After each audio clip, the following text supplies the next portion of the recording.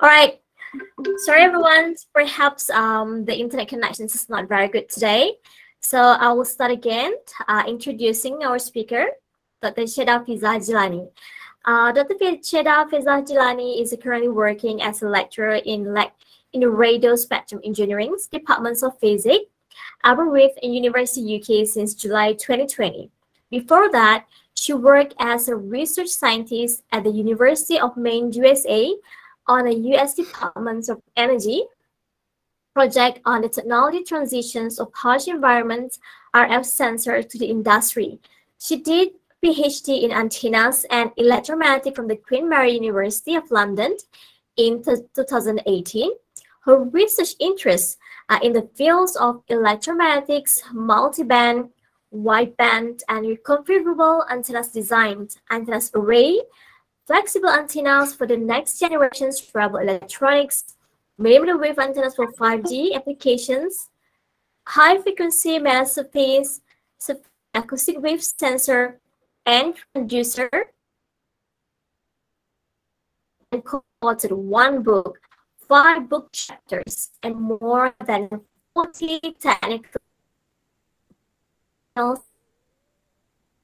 conferences. So without ado, Please welcome Dr. Fizzah Jilani. Thank you so much, guys. Sorry about uh, this interruption. And I'm sharing my screen. I hope you guys uh, could see that. First, thank you so much for such a kind introduction.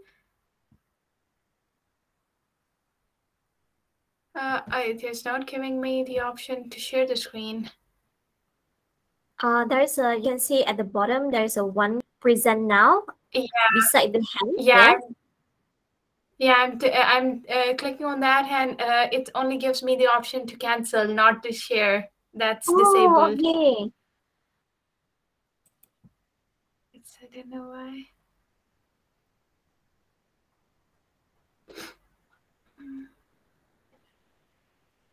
Uh, maybe uh, somebody can give me the access to present now. Um, tab. I we didn't we didn't like um we give access to anybody yeah. to yeah to present actually. So when you click present now, what so, is actually showing? Uh, it's uh, when I it's uh, when I uh, click on present now it gives your entire screen, uh, all the options, a window or a tab. When I click the entire screen one, yeah, it, uh, it says that do you want to share this uh, screen, and it does not give yes. me the option to share. There is an option here, but it is gray. Oh, it's, okay. Okay, now maybe that's that's now it's, it's working. So can I? Uh, okay. How about now? Can you can you see my screen? Uh, yep, it's presenting. Uh, can you see my screen? Okay. Yes, yes, uh, yes, I can see it. Perfect, perfect. Uh, I got this idea that it's a little bit slow, so I will try to move slowly. Uh, so uh, about uh, the topic I'm going to present today is advanced fabrication techniques for antennas beyond 5G. I don't want to sound too boring about antennas, electromagnetic stuff, and I will not go into the details of very complex equations and of microwaves or or electromagnetic waves. I would try to make it as light as possible, as casual as possible, and I will try to deliver the point that why we need advanced fabrication techniques for antennas beyond 5G. And uh, on the forum of AP, MTT, EMC webinar series, uh, today I- am presenting, and uh, as you have seen my introduction, I'm Syeda Fizzah Jilani. I'm currently lecturer in radio spectrum physics in the Department of Physics at Aberystwyth University. Here I am a course coordinator of MSc Radio Spectrum Engineering. Just a brief overview of uh, what we are doing here in Aberystwyth. So in, uh, there is a new innovative MSc degree program to produce postgraduate specialists with essential expertise in the state-of-the-art fields of wireless communication networks, radio frequency engineering, microwave engineering, antenna design and wave propagation, and RF spectrum management. So this MSc encompasses all these state-of-the-art fields in one umbrella. Why our program is different from others? We cover all the aspects of the demands of the industry. Before designing this MSc program, we talked to industry people and we asked that what they actually need. For instance, in the conventional engineering degree schemes like telecommunication, wireless networking, radio frequency communication, or microwave engineering, or even a standalone spectrum management degree, they all leave behind a gap. Something is missing always. So in this MSc program, we try to incorporate the knowledge of spectrum management with the no basic knowledge of all these above mentioned fields. So the, tar uh, the target is to develop state and uh, state of the art research and development and who can apply. Obviously, we welcome the graduates from bachelor's in physics, astrophysics, mathematics, computer science, as well as bachelor's in engineering in the field of electrical, electronics, communication, telecommunication, computer science, aeronautical space engineering, and other related fields. It's a one-year uh, MSc degree program, starts in September and ends in August. And also the graduates can access the UK two years graduate working visa uh, after the end of, uh, after the completion of their degree that's what we are doing here. And now I will move to advanced fabrication techniques for antennas beyond 5G, my actual topic of discussion. So the contents which I am going to cover today is I will start with the basic theory of antenna, just a refresher, and then I will move towards smart antennas and what they are, why we need them. And also then I will talk about advanced manufacturing techniques, to develop smart antennas and the last in in the end i will present some of my own antennas which i published and they were developed by these advanced manufacturing techniques just to give it an example starting with the basic theory of antenna uh, you guys uh, in the audience you are familiar with the antenna. What antenna does what it is is just a wire or a conductor. It transmits and it receives radio frequencies. So how easy it sounds it doesn't work exactly in the same way. For instance it, although it says that it transmits the energy or rf energy or an oscillating signal from the generator through the transmission line to the antenna surface and at the antenna surface it got converted. That oscillating energy get converted into the form of electromagnetic waves and then transmit in, in the outer space. For instance in this first animation you will see that there is a dipole antenna and how the voltages are changing because of the RF input signal or a high frequency oscillating input signal. You will see that as a result of which an alternating electric field is generated and as a result of which an alternating magnetic field is generated and both of them superimpose and form the radiation and that's how a dipole antenna radiates which you see in this third animation. So that's how we transmit our signal. So that has uh, an uh, a data embedded in it. And at the receiver side, that radiation is captured by the receiving antenna and it takes off the oscillating energy and it takes the data out of it and it is retrieved to the receiver. In the whole process of transmission, antenna impedance matching plays a significant role. For instance, at the generator side, if you uh, try to model the antenna circuitry, you will see that here there is an antenna and here is a, there is an AC source with some internal resistance of it. So if you go back to this first figure here, there is a generator and then there is an antenna. If, for instance, your transmission, uh, transmission line is not properly designed, then there is a chance that you have a perfectly working antenna, you have a perfectly working generator, but it is not transmitting anything because of the mismatch at the transmission line. So the idea behind that is that you need to design your transmission line in a way that your generator impedance should match with your antenna impedance. So in electrical terms or in circuit terms, your generator impedance and your load impedance, which is your antenna's impedance, should match. And in most of the cases, they are 50 ohms.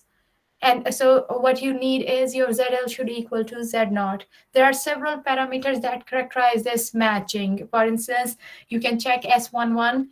It is one of the parameters. And um, like uh, from port one to uh, uh, uh so scattering pattern, uh, parameters between port one and one.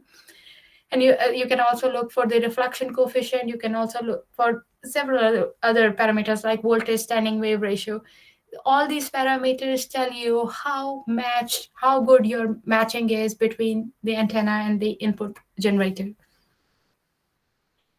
The, the next parameter is radiation pattern. Especially we are interested in far field radiation pattern. Antenna can radiate in different ways. You have an antenna, it could radiate here, here, here, anywhere. So what's, uh, but based on the radiation pattern, we have named them. For instance, if we are getting a radiation just perpendicular to the direction of your antenna. For instance, this is your antenna and just perpendicular to that, it's radiating. You will see a broadside, you, you call it as broadside radiation pattern. But what if your antenna is radiating along the line of the antenna? For instance, it's uh, the end of your antenna is on fire. So you can say that the radiation from the end of the antenna are transmitting. So you can say that it's an end fire pattern.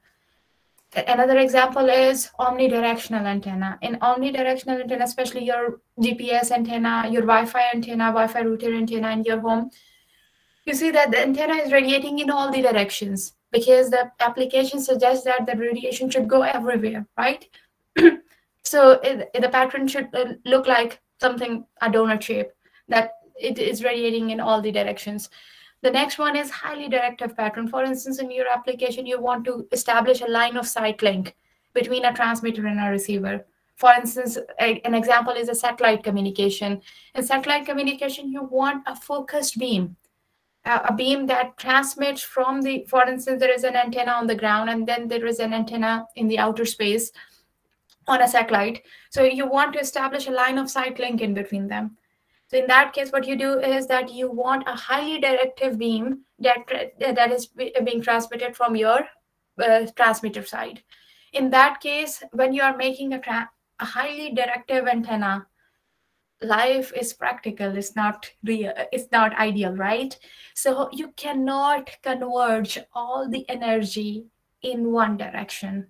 It's very hard to do that in there are always energy losses in unwanted or undesired directions and they are called as side lobes. For instance here there is a main beam a focused beam of radiation pointing towards the receiver side but there are some side lobes and they have some some packets of energy in in them. And if for instance in an ideal case all that energy should be converged into one radiation beam and uh, should be transmitted like that. But here in this case we're not seeing that thing and that's a practical example of highly directive patterns. But what we could do is reduce the energy dissipation in these side lobes. So we set a level that a good antenna should have um, minus 10 dB or reference level that the power of your side lobe should be below minus 10 dB from your main lobe power. Next generation of antennas now let's take an example of a line of sight link between a satellite antenna and an antenna on the ground. For, for that purpose, we usually use a dish antenna, right? But your satellite will not always remain in the same place your satellite will move around. It's just like your moon right? The moon is not always at the same place when you go out and look at the moon at night right? It will not always in the same uh, same place. It's just like uh, uh, any other satellites. So there are geostationary satellites which try to preserve their position, but there are several other satellites that revolve around the Earth and their position changes with time. Every day there is a new position. So what you need is a whole motory system. Like in, in initial time of satellite communication, what they did is that there was a whole mechanical system to rotate your uh, uh, uh satellite dish accordingly every single day to position it exactly with the position of your satellite antenna. But now there it's a time when uh, we have implemented smart antennas. They are generally multi-beam antennas or adaptive antennas. Adaptive antennas means that they can adapt themselves according to the demand. So and they have the cognitive control. They can decide or they can steer. They can steer their beam in the desired direction. So for instance, in this animation, you will see that the beam is steering in different directions. So as a result of which, uh, you don't need this whole mechanism of mechanical movement for moving your whole giant uh, antenna, uh, uh dish antenna. What you need is uh, what you need is an adaptive antenna that can easily steer its beam into a particular direction. That's the idea behind that. The smart antenna market is projected to reach about 15 billion by 2031. So in just few years time, we will see that it's a huge industry itself. So let's talk about next generation antenna designs. You have seen that these designs, which I have uh, uh, taken few pictures and included in this uh, slide, you see that they're not conventional. They're not like a wire antenna or a dish antenna or a horn antenna. They, they have different structures. And these structures are, for instance, in the first example, I have placed a metasurface. Metasurface has an excellent property of manipulating EM fields. So the actual EM field, the intrinsic properties of EM fields could be manipulated with the help of metasurfaces. Then there are other types of the antennas, for instance, but the idea is, for instance, in the second antenna, what how antenna radiates it, it all depends on the length of the wire. On what frequency you want to radiate your antenna depends on the length of the wire. If you want to resonate it on a lower frequency in that case what you need is a longer length. But can you fit that longer length of the antenna in a structure like this in the second figure which you see in the form of different loops and loops and loops as a result of which you can fit a long length in a small compact area so this could reduce the size or weight or aerodynamic drag and cost. So there are multiple advantages of making such changes. Key innovations include composite materials and novel selective metallization processes, which I, I will talk today about uh, what these metallization processes are. So advantages are cost-effective realization of versatile, tunable, robust, lightweight, and programmable antennas. Like whatever we could achieve from an antenna could be done in this next generation of antenna design. Why we were uh, needing the advanced fabrication techniques? Because there were limitations with the conventional fabrication techniques. Conventional fabrication techniques were milling, molding, casting, cutting, sawing, stamping. But uh, one uh, important thing which is important to understand for the people who, who are not from the antennas background in order to radiate electromagnetic radiation, you need a metal structure. And the metal structure should be designed in a specific way based on the uh, electromagnetic principles and the antenna theory principles. If, if that shape, that particular shape is not on the mark, is not exactly made on this right uh, measurements, then it will not re resonate on the same frequency. Also there, there there could be other issues in that that if it's a 3d dimensional antenna you might need some advanced methods to do that. And if you're using conventional methods there are so many limitations. For instance high cost setup time is large material waste especially in the subtractive methods for instance if you take a big block of metal and you want to design a 3d horn antenna you need to take out or scrape out all the metal from the inside. You need to cut off the metal from the edges to design it in the shape of a horn antenna. The rest of the metal is a wastage. So a lot of metal is being wasted in, in such subtractive techniques. Complex assembly required for complex designs and limited material combinations. There are so many limitations, but in advanced fabrication techniques, we are trying our best to help out uh, the whole process and try to get the most precise uh, accuracy in the design. There are several advanced fabrication techniques. I just picked five of them to discuss today. The one is in inkjet printing, second is flexo printing, then laser milling, photolithography, 3D printing. Starting with inkjet printing. It's just like a normal printer uh, maybe in old age uh, printers, maybe you have seen that the old printers from 90s, you, you might have seen that how they printed the paper. uh, it was not our current printers that you just place the paper uh, which you want to print and then the pattern comes on it the old printers print used to do printing line by line. So inkjet printer works exactly in the same way. It prints the pattern line by line. It has a nozzle and a jet you you can see in the first figure. And the ink comes through the nozzle and this is controlled by a piezoelectric transducer that controls the voltage. So if you increase the voltage it will drive more more ink through the nozzle and, and uh, this could also be uh, controlled for instance if you have ink with different viscosities for instance if your ink is really thick you need to uh, increase the applied voltage to push the ink through the nozzle so there are several uh, uh, parameters you need to see or before working with the uh, inkjet printer. In this figure, I have shown an in-house inkjet printer on which I worked on.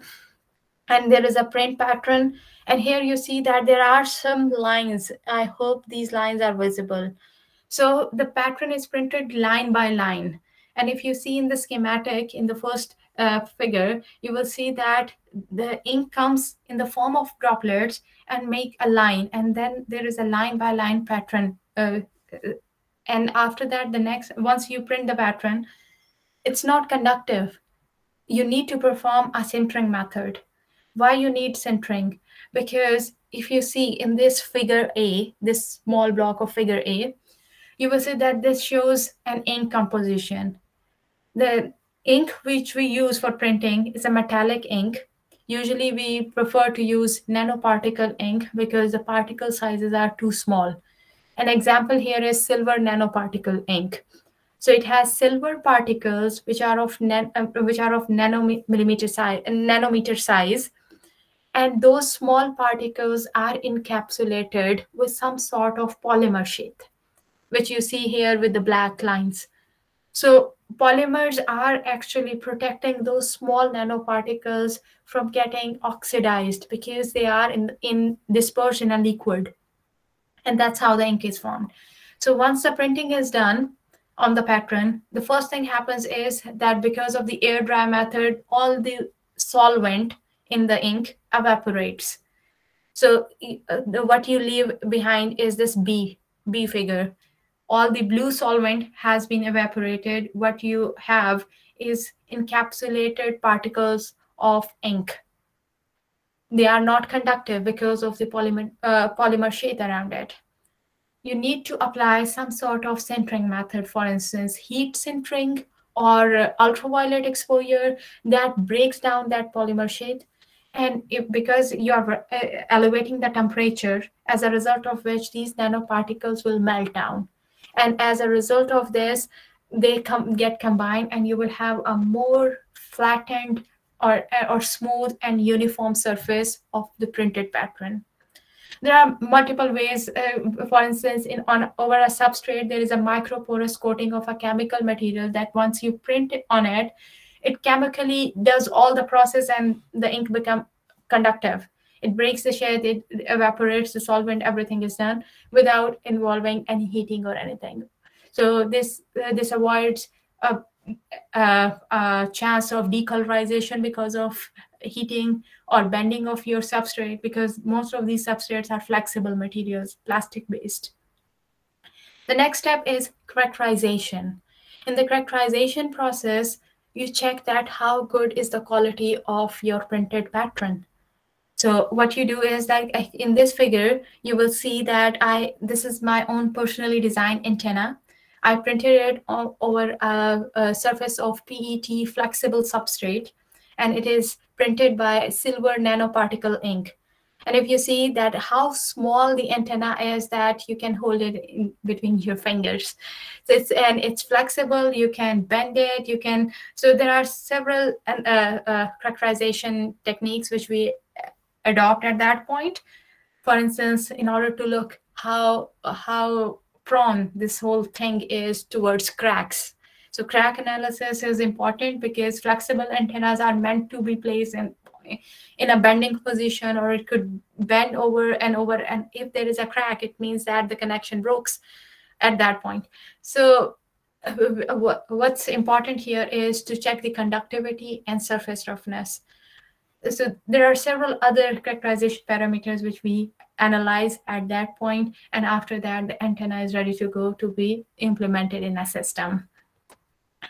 The next is flexoprinting. You guys must be, have seen those videos uh, in which they show that how the newspaper is printed. There are multiple rollers and in between there is a paper and the, the pattern goes on the uh, on the uh, on the paper newspaper by this uh, roller printing method. Flexo printing is similar to that. It has three rollers. The first roller gets the ink and when, whenever it rolls over and over in the i'm i'm talking about this first figure you will see that when once the first uh, roller moves the ink gets transferred on the doctor plate. As a result of which it uh, once it moves and get in contact with the second uh, roller the second roller has an engraved pattern which you want to print. So that engraved pattern gets the ink from this doctor plate it is also called plate cylinder roller and the third one is impression cylinder the impression cylinder holds the substrate on which you want to print. Once this impression cylinder gets into contact with this flexo plate or plate cylinder roller, what happens is that because this pattern, this roller has an engraved pattern that gets the ink, just like an ink stamp, stamp pad. So that pattern gets transferred on the substrate. And that's how the pattern is transmitted over the substrate. And the, the more uh, 3D illustration of that is shown in this figure uh, in the second one. You, here you will see a doctor plate. A doctor plate is transferring the ink to the first cylinder and in the first cylinder then transmit the ink to the second cylinder and that second cylinder has an engraved pattern on it and that pattern when once it gets in contact with the substrate and it transfers the pattern with the ink over the substrate. That's how flexo printing works. The third method is screen printing. In the screen printing method, it's it's one of the easiest form. Uh, you might have seen the example of printing T-shirts with the screens.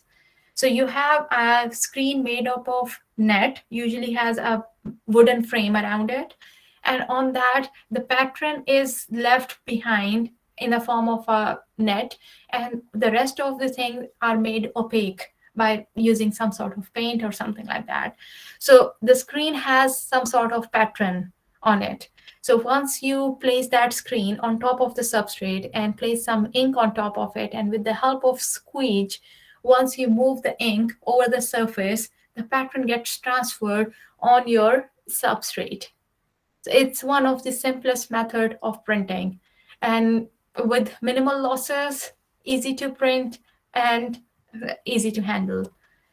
The next, which is relatively costly method, is photolithography. For instance, if you are thinking of designing an antenna on 60 gigahertz or even above, the antenna size becomes really small.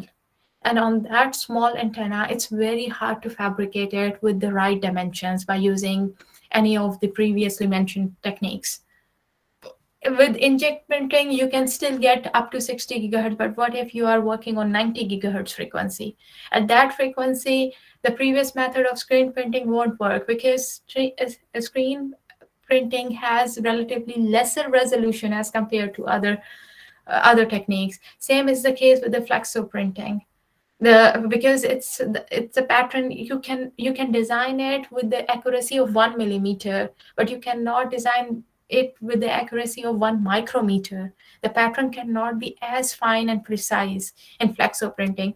In inkjet printing, you can go up to, uh, for instance, a 0.1 millimeter of resolution, but not more than that.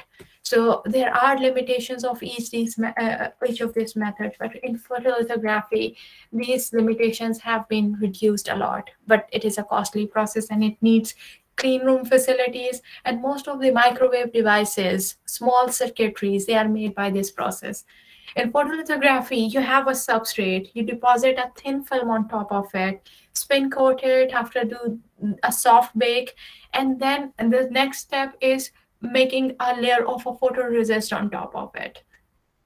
After depositing a photoresist, the next step is masking. In that, you what you do is you take a mask. Usually, the mask is made up of glass, and which has some bits which are transparent and some bits which are completely opaque. And then you shine a light on it, an ultraviolet exposure on top of that. What happens is that once that ultraviolet exposure goes on this layer of photoresist, it becomes active. A part of it becomes uh, able to dissolve in our developer, and a part of that becomes in in uh, undissolvable in the solvent. So the next step is to develop that thing in a solvent. So you place that whole thing in a solvent or a developer where it takes off or etch off the part of the photoresist, as a result of which a pattern is being made on the top of a thin film. The next step is etching. What you do is that you, because this is a metal metal layer, usually most of the cases, this thin film is a metal layer, and the metal is etched off by different uh, etching techniques. You can pick any appropriate one, and after that, you will have a photoresist and an etched pattern of metal.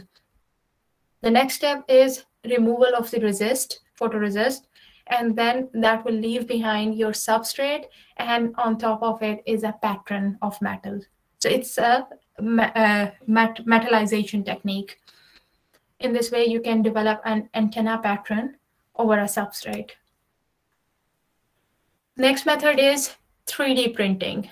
In 3d printing i just illustrated it with the help of an example of a horn antenna just see a metal horn antenna and there is a 3D printed horn antenna. And in your mind, you will be able to evaluate two processes.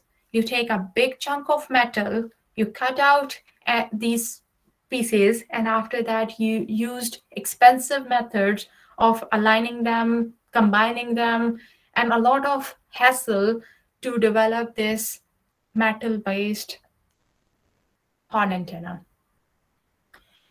Now you have that horn antenna, it can easily get crowded. One thing. Second thing is it's very heavy. So imagine the application where you need lightweight antennas. For instance, in satellite communication, for instance, in outer space applications, you need your antenna to be as light as possible. So this becomes a liability in that case. So what you do here is, for instance, you can go for the alternative method of making a 3D printed antenna. It's a very simple process. What you need is a 3D printer that takes a fiber-based filament and make a layer by layer growth of a printed structure. As a result of which you will get this structure. And what you need is, as a next step, just do the metallization. There are several methods of doing that. For instance, one method is spray coating. You take a metal spray, and just coat it over the surface. Or you can do the electroplating or jet metal technology. There are multiple ways of doing that. So a thin layer of metal will be deposited, the surface becomes metallic, and the antenna could radiate. So uh, in this one paper, you, uh, there is a comparison made with, with the reference horn antenna and a 3D printed E-plate antenna printed with one method and electroplating. And then there is another 3D printed antenna where jet metal technology was used. And their results were printed. And surprisingly, the results were similar, very close. So instead of using a heavy metal chunk, what you could do is 3D print that structure and perform a proper metallization to cover the surface with a metal metallic spray. But there are certain limitations of that process too. For instance, if you apply a heavy weight or heavy pressure over the first antenna, which is made up of metal, it will sustain because it's a metal and there is a bonding between the atoms at that level in the metal. But if you apply strain or pressure, high pressure over the 3D printed antenna, it has layered structure, the layers will collapse. So it depends on the demand where you want to use that antenna and what are the needs and based on that you can go for a suitable process. Next is laser milling. Uh, you guys must be familiar of prototyping, PCB prototyping. What you do is uh, there is a substrate on top of that is a metal metal cladding, and you just place it in a PCB uh, uh, prototyping. PCB is printed circuit boards, so it will print a surface or a pattern on the on the structure, and that's how all your printed boards, which are used in the computers and everywhere in electronic circuits, are made what if instead of using a metal bit to cut that, you are using a laser nozzle? In that laser nozzle, what you could do is you can go to the accuracy of 0.1 mm or even less. Sometimes in most of the laser milling machines, you can even go to 0.05 mm. It's very small, a very high resolution. So uh, you can see that the how fine this prototyping is being done on this circuit. So laser milling is one of the technique, but what's the drawback or what's the limitation is that you need an expensive laser milling machine and it's usually quite expensive. So uh, that's one of the uh, techniques. Now I will start with a few examples of the antennas which I developed. For instance, enhanced Franklin antenna array that was uh, the antenna which I made. And in that antenna, you will see that it's a one-dimensional array and it is printed by laser milling method. It looks pretty big, but it's quite a small antenna. It's less than one inch of the antenna.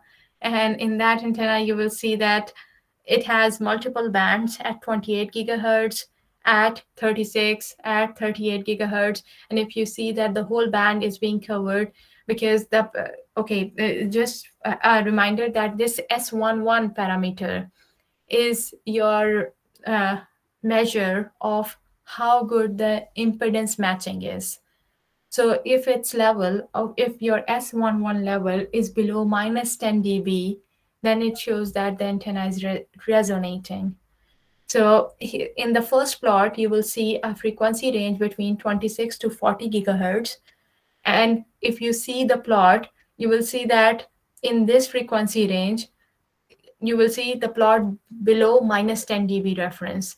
So starting from this point, I'm just uh, focusing on the bold line here, the first graph. In the bold line, you will see that it starts from somewhere close to 28 gigahertz, 27 point something uh, gigahertz, and it goes all the way to approximately 39 gigahertz. So that antenna resonates from 27.7 gigahertz to 39 gigahertz all the way because it's this S11, its impedance matching is below minus 10 dB in this complete range. The further plots in this uh, one plot are representing its parametric analysis when its specific length was changed, as a result of which its impedance matching was changed. Similar is the case with the second one. This, the antenna was also optimized with another parameter. LP is this length, LS is, is this length. And based on these lengths, once the parametric analysis was done, the easiest uh, thing to look here is the pattern below minus 10 dB.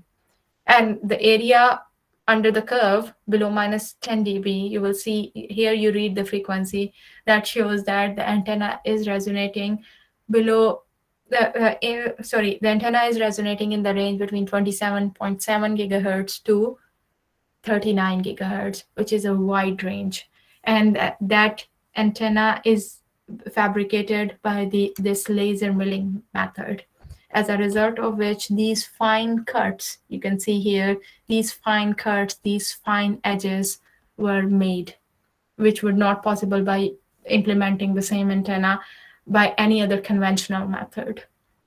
It has pretty high gain that you can see that on different frequencies, it has a gain. Uh, gain is a measure of how good the radiation is. So uh, the radiation, if you see the radiation gain is above 7 dB in the complete range of between 28 to 38 gigahertz. These are the radiation patterns. So in, initially, I discussed the 3D radiation patterns. If you take two polar cuts of those radiations, you will find the pattern something like this. So that shows that the antenna radiation pattern is uh, fairly omnidirectional. Then the design was further enhanced into a two-dimensional array. Instead of a one-dimensional array, which I discussed in the previous slide here, I designed the antenna in two-dimensional array with different patches and the feeding networks. And the, the size of that antenna is also pretty small.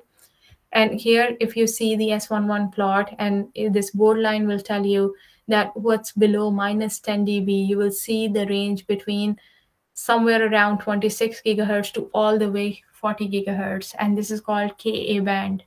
So it covers the whole Ka band frequencies between 26 gigahertz to 40 gigahertz because the pattern is below minus 10 dB.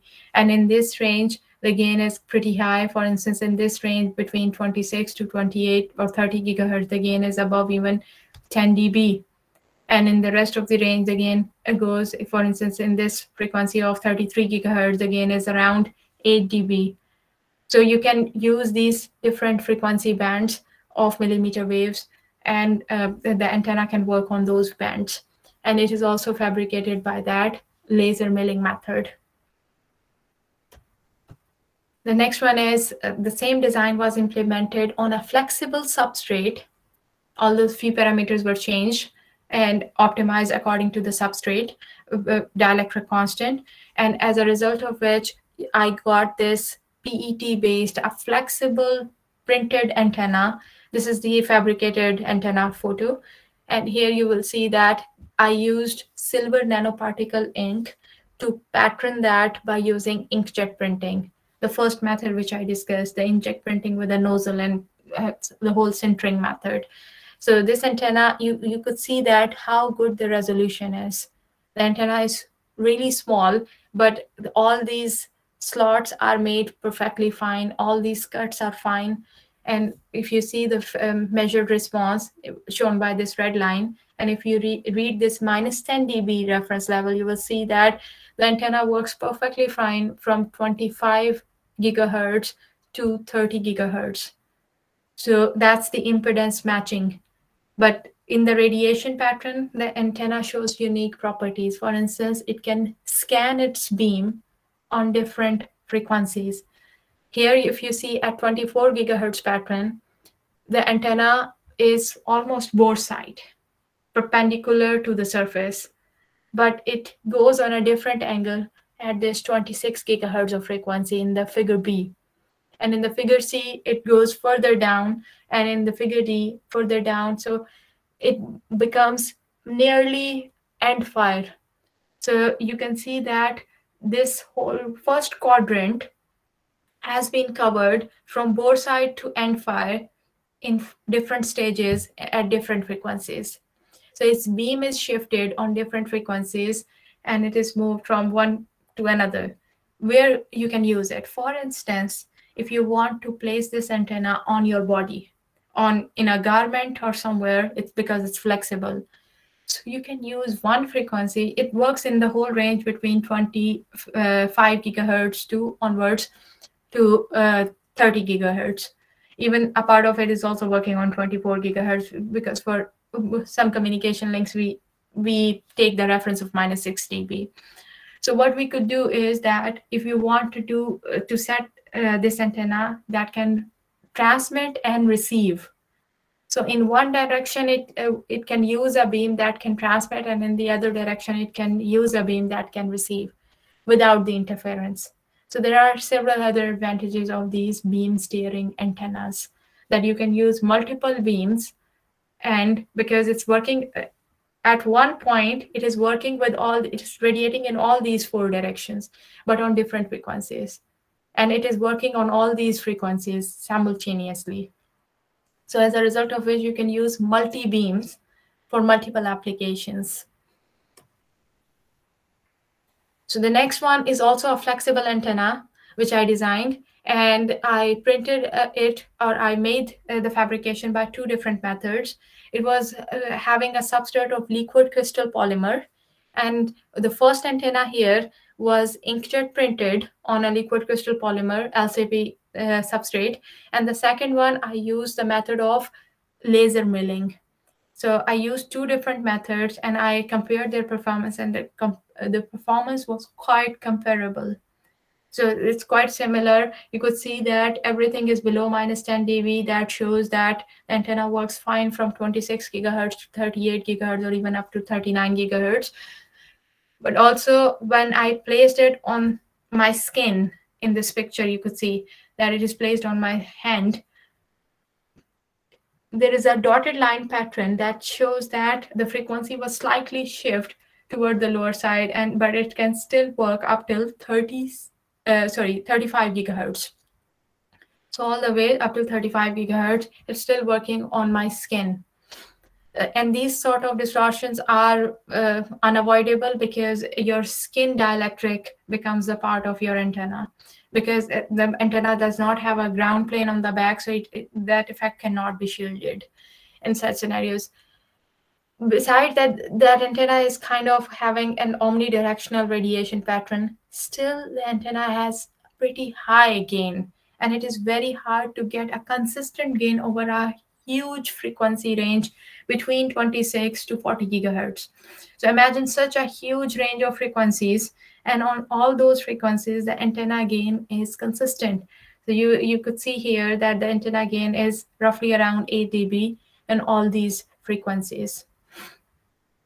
And that's the radiation efficiency dotted and dashed and that shows that approximately on the range of the frequencies the radiation efficiency is approximately 90% which is pretty high and here uh, i uh, tried to develop a two patch antenna which is in the form of an array. It, uh, the initial design was a single patch antenna. Then i enhanced the design in order to get more high gain performance.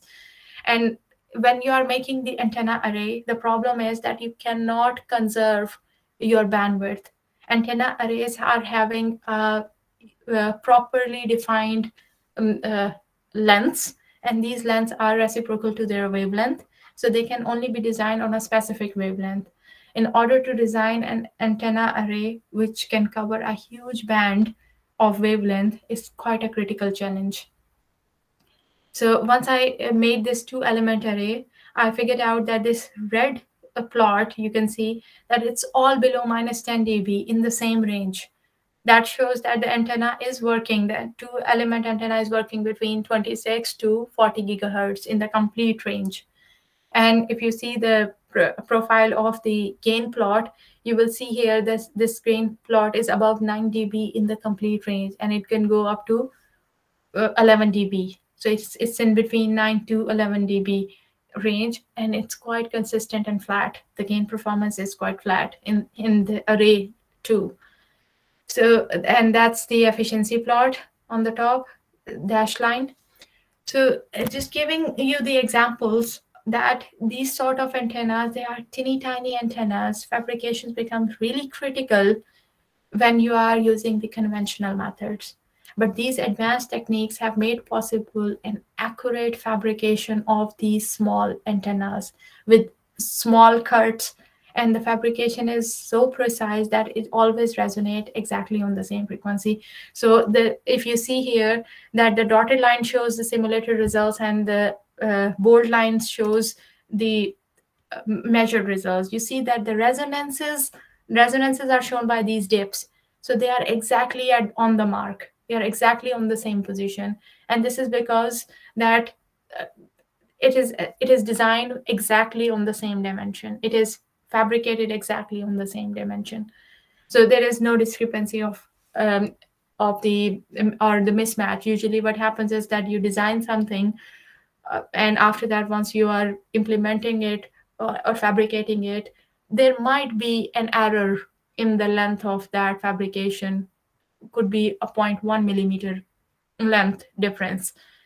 For instance, if you want to make something with 1 mil, uh, 1.5 millimeter, in the fabrication it could be 1.6 millimeter, but that could create a huge change in millimeter wave antennas. So 0.1 millimeter difference is huge. But if you are getting an accuracy in that level that your fabrication and your simulation matches exactly, then it, then you can say that the, the fabrication method is reliable enough. So these are some examples with this. I can I can go for what's next. So what's next is that we are in the constant process of developing new and new ways of getting the fabrication on a level that is cheaper. If we are looking for mass communication, these methods, some of these methods are pretty expensive. And what we are looking for is to bring the technology to a level that it is applicable in all these fields, especially if we are going for communication networks.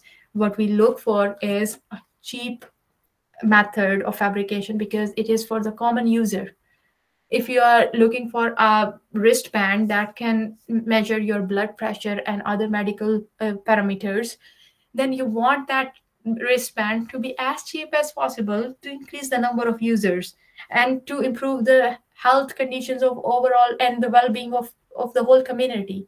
You don't want it to be of 100 pounds or $100 thing. You want it to be as cheaper as possible in order to do that, we need to find ways of how to reduce the cost of these, these advanced methods to bring it to a level that we can go for mass production.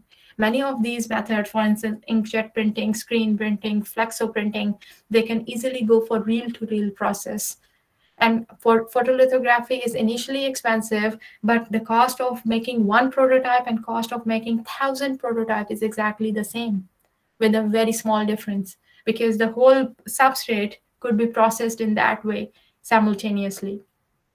So that's how we can go for mass production and reduce the time of each method to, to make it more usable and more more economical so that's the take of this talk. I hope you enjoyed this. Please, I'm open to all the questions. Hello, am I audible? Yeah. Okay, thank you for the wonderful presentation, Dr. Syeda. It's a great sharing. Okay, now it's time for question.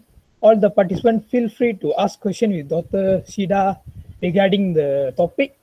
Uh, can proceed with the questions?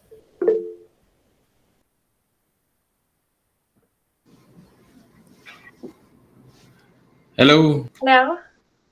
Hi, Dr. Syeda. This is Azremi uh, from Unimap. Uh, thanks for a very nice presentation. I'm just the, uh, I have one very straightforward question about the, uh, considering all the advanced techniques that you have um, for the antenna fabrication, is there any special consideration for the um, connector? I mean, yeah. those those connectors like SMA and, and, those, I mean, for high frequencies, probably they have some special consideration. Okay, thanks. That's only my question. Thanks. Yeah, for instance, up to 18 gigahertz, you can use uh, SMA connectors but above uh, 18 gigahertz you can go for for instance ka connector. Ka connector goes up to 40 gigahertz. But ka connectors come with different uh, schematics. Usually the size of the antenna becomes extremely huge that it becomes comparable to the size of your antenna. So the antenna and connector size are almost the same. As a result of which your connectors start radiating so that's a drawback which we see. And the best uh, way of dealing with it is that in your simulation, try to model that connector as it is. But the problem is that you are not using connector when you are embedding that in your cellular phone, right? In your cellular phone, that big connector is not present. So how your antenna would radiate at that point? So you need to see both the scenarios. Okay, thanks. Thanks.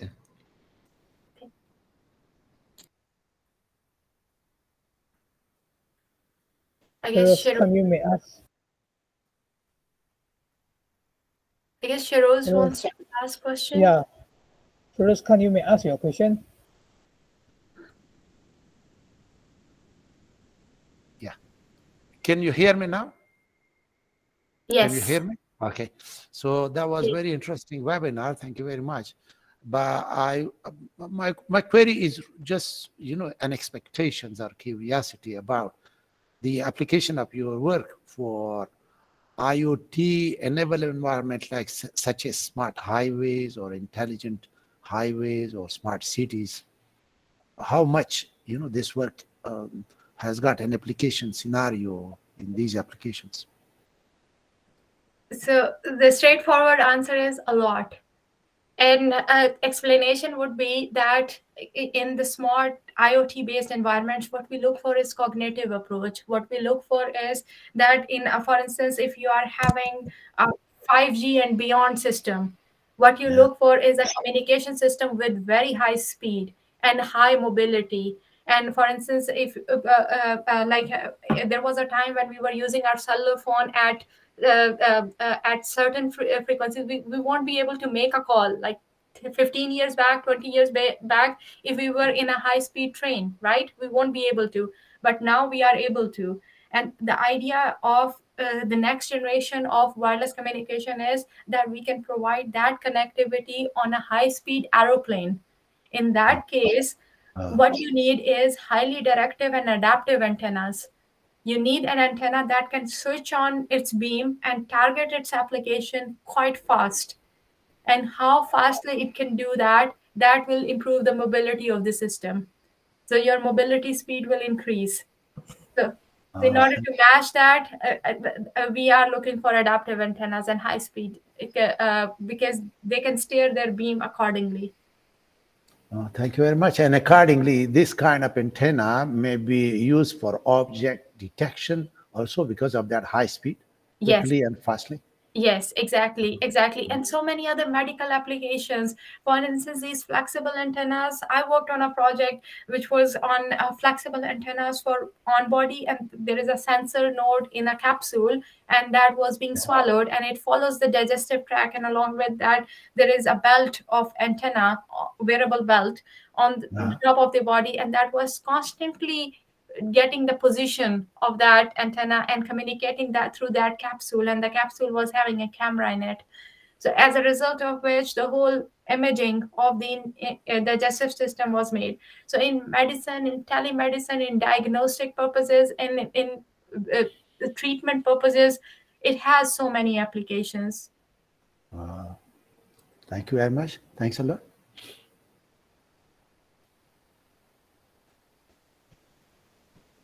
Any more questions from the participant? Any more questions? Feel free to ask Dr. Syeda.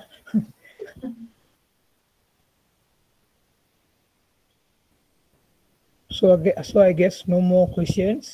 So let's take a group photo maybe. So please kindly open your webcam, all the participants.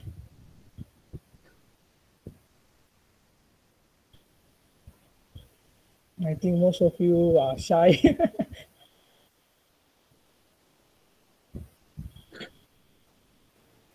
there is no camera in my computer, so that picture enough. Thank you very much. okay. Yeah, I think this all. Okay, one by one. We are opening the webcam. Okay, one, two, three. Okay, wait ah. Okay, another one.